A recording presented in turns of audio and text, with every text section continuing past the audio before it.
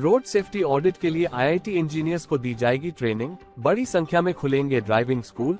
हर दिन हो रही चार सौ बासठ मौतें। देश भर में सड़क हादसे और उनमें मरने वालों की संख्या में कमी लाने के लिए केंद्र सरकार आईआईटी के इंजीनियर की मदद लेगी। इसके तहत विभिन्न आईआईटी के इंजीनियर को विशेष प्रशिक्षण देकर प्रशिक्षित किया जाएगा।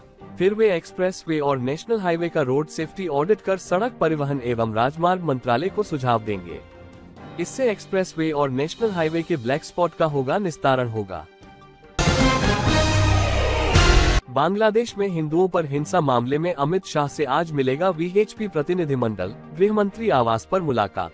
बांग्लादेश हिंदुओं पर हिंसा मामले को लेकर आज गृह मंत्री से विहिप का प्रतिनिधिमंडल मिलेगा। यह मुलाकात गृह मंत्री के आवास कृष्ण में मार्ग पर होगी। विहिप के प्रतिनिधिमंडल द्वारा गृह मंत्री को ज्ञापन सौंपकर मामले में भारत सरकार की ओर से पड़ोसी देश में हिंदुओं की सुरक्षा सुनिश्चित करने की मांग की जाएगी। पेरिस पैरालंपिक्स 2024 रेशियो 21 मेडल पहली बार पेरिस में भारत ने तोड़ा रिकॉर्ड।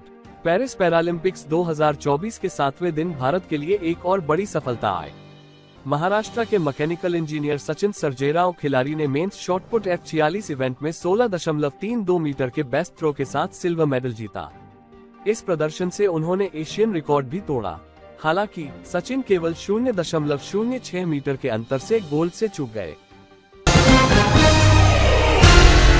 दिल्ली ट्रैफ़िक पुलिस की नई एडवाइजरी 30 दिन तक बंद रहेगी मेन रोड दिल्ली वासियों और राजधानी आने जाने वाले लोगों के लिए एक महत्वपूर्ण सूचना है।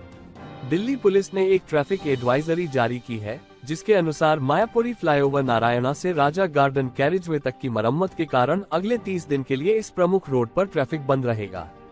मरम्मत का काम 6 सितंबर, शुक्रवार से शुरू होगा।